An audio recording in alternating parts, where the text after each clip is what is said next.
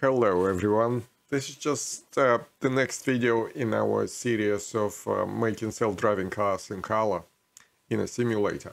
So let's have a little bit more fun with the Mini, um, the car that we've got here following navigation route and its old friend the fire truck. So what I wanted to do is I wanted to see what happens when the car following navigation route and then the truck just knocks it off um, the road because obviously the truck is heavy. Uh, the idea here is to see whether the car will continue navigating to, and figure out how to get out of there. So let's do this. I've got in my tutorial 4, I've got this section at the near the bottom that says full code with fire truck intrusion. Let's run it.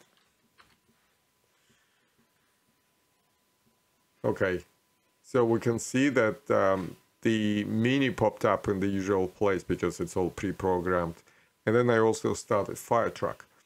And the way I figured it out is I just wanted to find out which point, when the car passes a particular point, oh, I need to give the fire truck a bit of an acceleration so it gets going.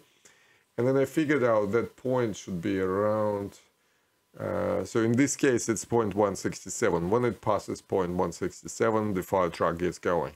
So that happens, the collision, as you can see, happens, the Mini gets out of whack, but it uh, manages to can completely normally follow the navigation route, which is great. Just shows our algorithm is actually quite strong. So if I wanted to make slightly heavier collision, so I, I could drop it by maybe one point and get the truck uh, moving earlier. And if I run that, we'll see what happens. At meantime, I would probably like to highlight that this uh, sort of approach of following navigation route would be perfectly applicable to a normal car. Um, and the equivalent in the real world will be um, GPS because GPS has coordinates pretty much similar to X and Y coordinates that we've got here. So we could theoretically apply the same approach in the real world, which is cool.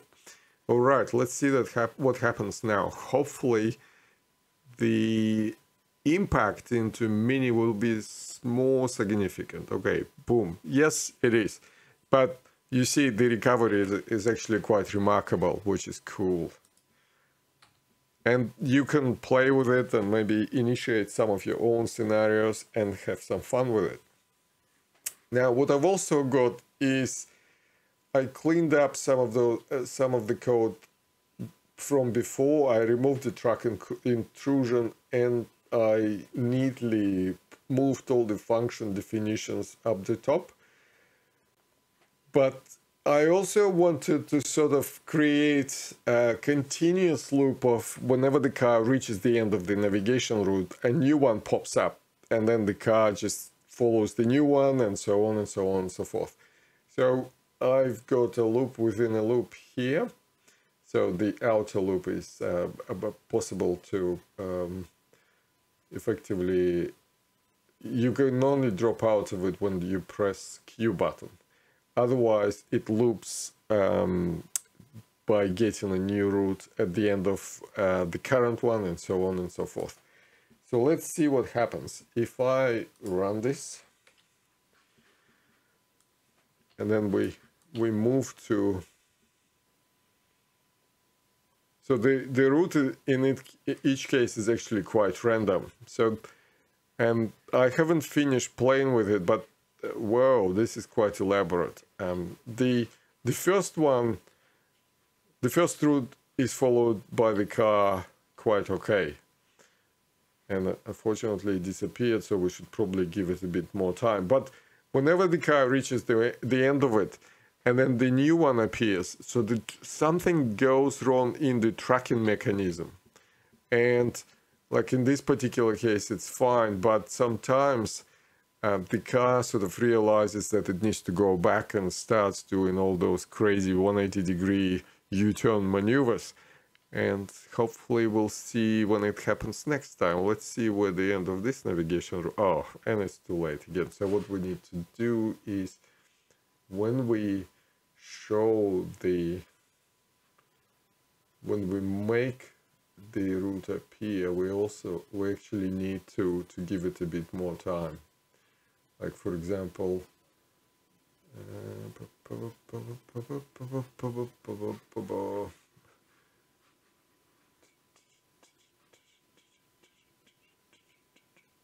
and you you can see I've actually selected two different functions. I've got uh, one drawing a random route, which is what I'm using here, and then I also have the longest route, which is the one that we've been using before in the previous tutorial. So, like the draw route time should be, uh, let's have it 60 seconds. So next time we run this, uh, the route will actually will, will stay for longer. But for now, let's just follow the car. Let's see what it is. And boom, this is exactly what I was talking about you see the car is trying to get the beginning to the beginning of this route and it's all just about tracking. So we just need to somehow detect the point where we need to jump to the next route and poss- uh, waypoint rather and the next waypoint and so on and so forth. So we don't have to do the jerky 180 degree maneuvers. Hopefully you'll figure it out on your own. That's just uh, that's just some new homework for you. Otherwise i hope you had fun and this was useful. Thank you for watching and I'll see you in the next video. Thanks.